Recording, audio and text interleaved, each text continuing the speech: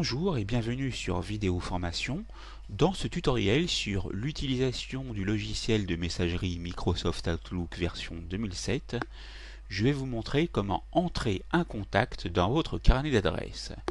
Pour ce faire, vous devez aller soit dans le menu Outils, puis Carnet d'adresses, ou alors utiliser le raccourci clavier touche CTRL plus majuscule maintenu plus B.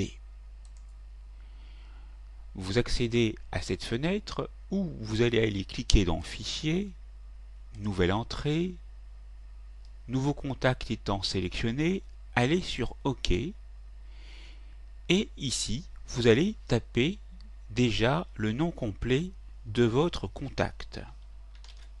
Nous allons taper par exemple Jean Durand. Vous pouvez taper la société, le titre, classé sous. Vous pouvez indiquer Durand Jean ou Jean Durand. Nous allons mettre comme ça. Adresse de messagerie, taper son adresse de messagerie.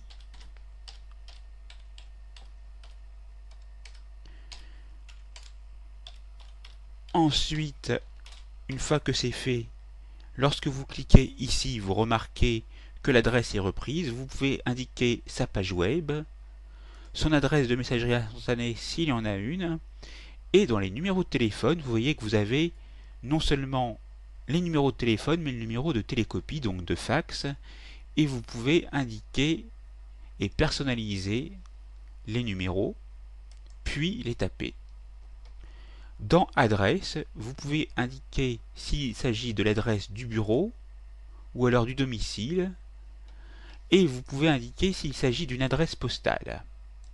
Ainsi, vous taperez les informations ici, puis lorsque vous voudrez enregistrer ce contact, cliquez ici sur Enregistrer et fermer, et vous verrez si vous l'avez complété en entier toutes les informations qui sont notées ici.